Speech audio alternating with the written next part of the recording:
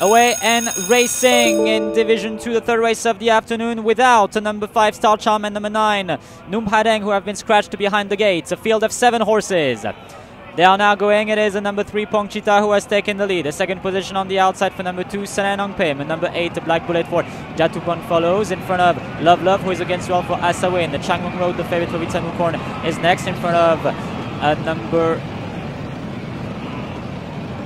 Number four, Mind Story, top of the field, currently for Panfa. They swing left in the final turn. It is a number three, Pongchita, who is in the lead. Two lengths in front of a number eight, a Black Bullet. Three lengths back comes three horses. A Sanong Pim in front of a Love Love, Changwon Road. Next is Panfa, top of the field currently for number four, Mind Story. They enter the home stretch with 400 meters left to travel.